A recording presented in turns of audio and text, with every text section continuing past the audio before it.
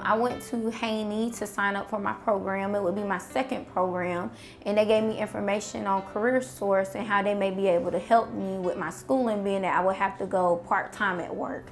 I signed up in 2014 and uh, being that I've been in the medical field for years, I just knew this program would be easy and I would just, you know, breeze through it. So I still work full-time hours at work as well as going to school full-time and it didn't quite work out.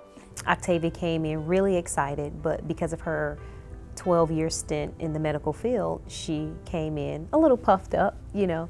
And then I think the LPN program just kind of, you know, knocked her over and said, hey, it's, it's a little bit tougher. Throughout that process, she uh, went back to work full time and she stayed in contact with me and always expressed, you know, Miss Tamlin, I really want to come back to the program. Uh, what drove me to go back and succeed in the LPN program the second time around, I had a lot of different support systems that kept telling me, you know, you can do it, go, you know, you should just finish it. The nursing program, it was very hard. Uh, it takes a lot of dedication, a lot of hard work and discipline.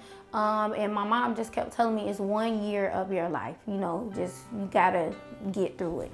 Oh, that second trip when she came through the program, I think she was uh, more dedicated to the program. She worked harder. She did so well that at the pinning ceremony at the end of the year, once the LPNs are pinned, she won the Outstanding Student Nurse Award, which is really big at, at Haney Technical Center. Uh, I would recommend Career Source to um, friends and family. They're always pushing you and motivating you to do better. I just want to thank Ms. Tamlin over at Career Source. Uh, she was a big part of me um, finishing my program because you need that person to motivate you and she is that person for me.